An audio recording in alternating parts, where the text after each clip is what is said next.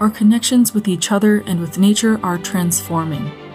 At the same time, we are seeing technology advance and biodiversity decline like never before.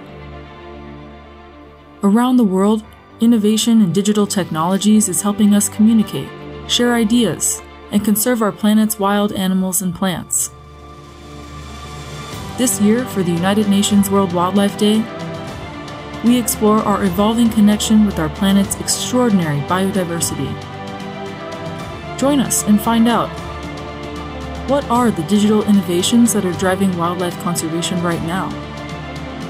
What is the way forward to make sure no one is left behind in the journey to connect people and planet, and to make sure wildlife continues to exist for generations to come?